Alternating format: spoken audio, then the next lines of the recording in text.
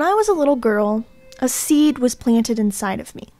A seed that has told me to hunt and fish, but acknowledge my impact, to take part in conserving. Now, I had no idea what that term meant until I was 12 and took a hunter safety course and heard the term conservation. Now, by definition, conservation means the preservation and protection of something. But what does it really mean?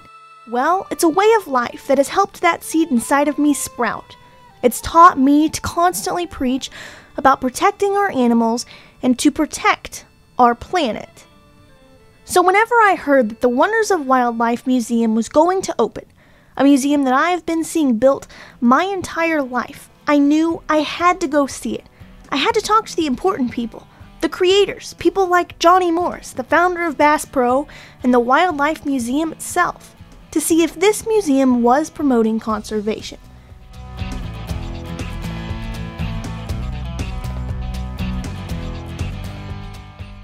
And I love, I've always loved to fish. The Wonders of Wildlife National Museum and Aquarium is 350,000 square feet in total. Citizens have really created something unique here in the state of Missouri.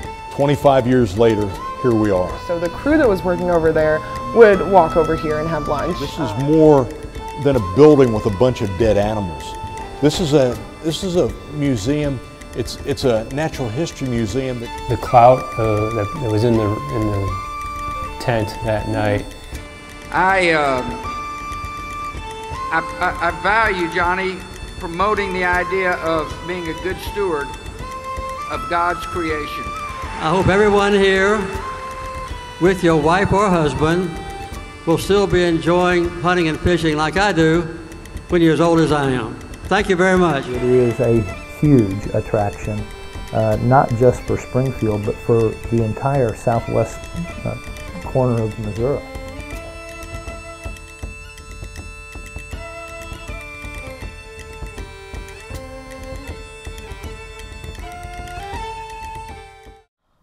Wonders of Wildlife is a story in itself, but it would mean nothing without the seed that it started from.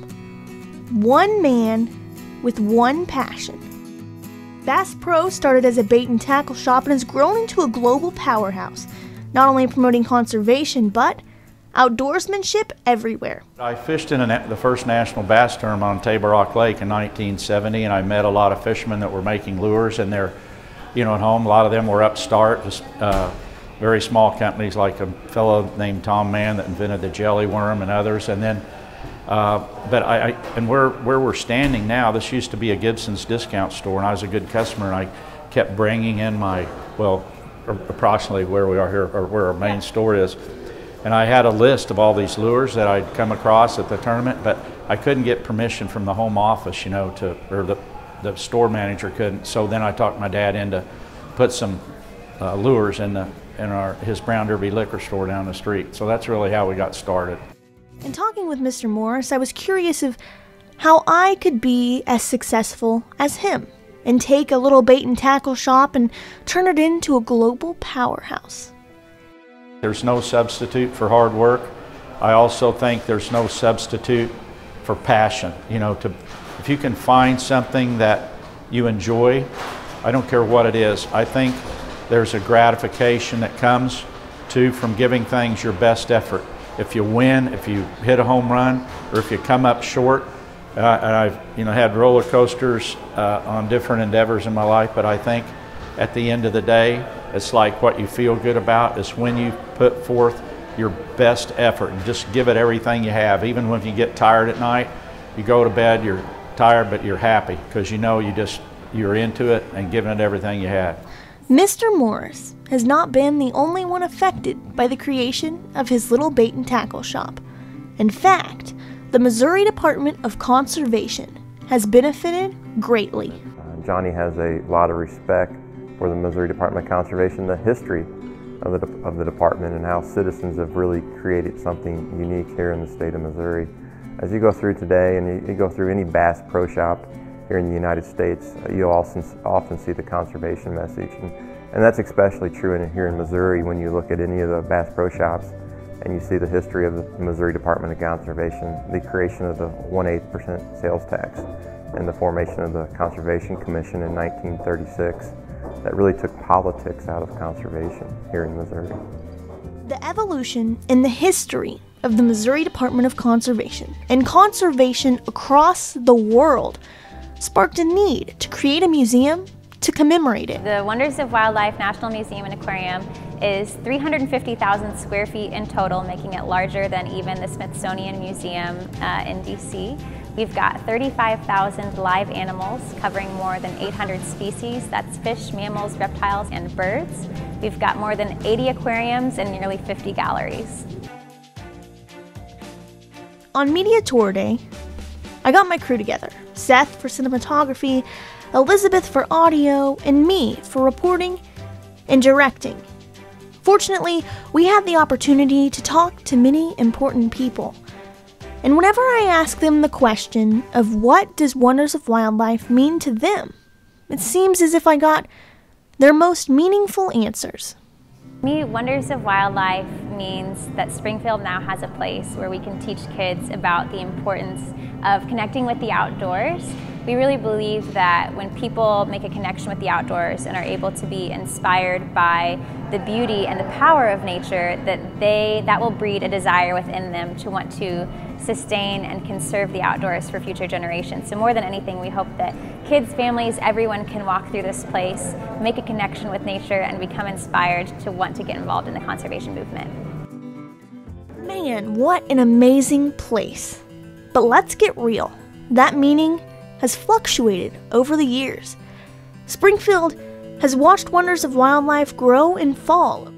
And Eric Olson of the Springfield Business Journal has been covering that rise and fall. Back um, in, the, in, the, early 2000s, uh, Wonders of Wildlife was, I remember it being very targeted to uh, local wildlife and trying to preserve the local heritage and um, you know that, that was had its pros and cons. So I, I heard um, people speak kind of critically about it in that, well, if I wanted to just see what is in our backyard, I just go out to the backyard. I don't need to go to a museum to experience that. And um, but that's you know that's just part of conservation. And, and yeah, you can say that. You can go on your own excursions around the Ozarks and, and see what maybe was captured inside the museum. See it for yourself in real real time. But um, the educational supporting pieces about you know why that nature is the way it is and what types of uh, trees or, or, wildlife are known to, to be in this region versus that region. Um, the, I remember the museum being, being very strong on the education side and always brought in school classrooms and, and doing field trips and such. And um, of course, that's going to continue to be uh, a big part of, of what's to offer um, there now. But it's, it's much more diverse and robust and um, you know, the, the things that we have to trial, travel hundreds and thousands of miles to see, now we're going to be able to see that under, under one roof. Some have been less forgiving. It's taken time to find its place.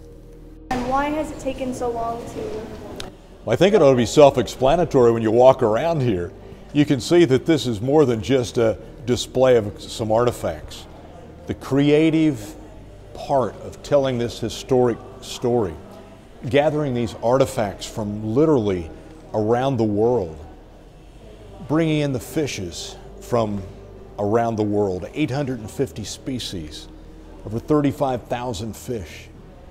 When you look at the building itself, to think about the life support systems that it takes for all these different fish, for example, in the aquarium. You think about salinity, water temperature, all the kinds of habitat that are important so that those fish can live. Every aspect of the museum was worked on by one of the hundreds of workers who were employed by this project. Wonders of Wildlife has not only brought us beauty in all of its forms, but it's also brought business.